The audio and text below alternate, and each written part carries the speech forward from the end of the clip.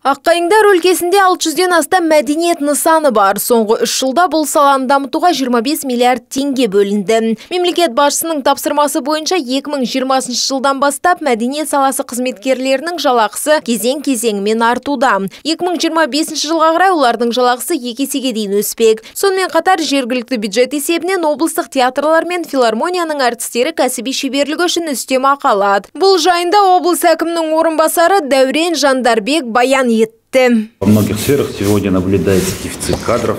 Жасыратыны жоқ. Бүгінде көптеген салаларда кадр тапшылығы бар. Әсіресе мәдениет саласында. Осы орайда облыс әкімінің қолдауымен жоғары оқу орындарына шығармашылық мамандықтарға гранттар бөлінбек. Біздің өңірде жүзге жуық білікті маман дайындау жоспарлануда. Биыл сәбит мұқанов атындағы жаңа қазақ сазды драма театрының таспасы қиылды. Айта кетейік тәуелсіздік жылдары елімізде барлығы тоғыз театр бой көтерген. Көздің жауын алатын мәдениет ошағының бірі петропавлда салынды. Сондай ақ шаһарда ислам мәдениеті музейі ашылмақ. Мұндай нысандардың ашылуы мәдениеті мол тарихы терең өңірдің туризмін дамытуға жаңа серпін береді деді дәурен жандарбек. Сондай ақ биыл өңірде маңызды үш көркем фильм түсірілді. Бұл да аймақтың мәдени тұрғыда дамып келе жатқандығының айқын көрінісі. Биыл жергілікті әртістер де өнерлерімен көзге түсіп жоғары наградаларға ие болды. В этом году ансамбль бального танца «Сенситив» би ансамблі 25 мерейтойлық әлемдік орындаушылық өнер түрлері чемпионатында гран-при жеңіп алды.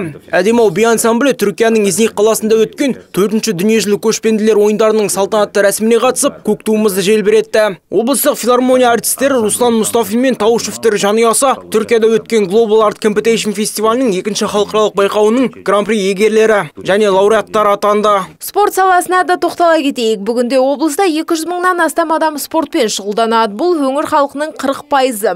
Ағымдағы жылы аудандық және қалалық мектептерде спорт түрлері бойынша 17 тегін секция ашылды. 230 мың адамды қамтитын 1200 спорттық бұқаралық іс-шара өткізілді. Особое внимание уделяется массовому спорту.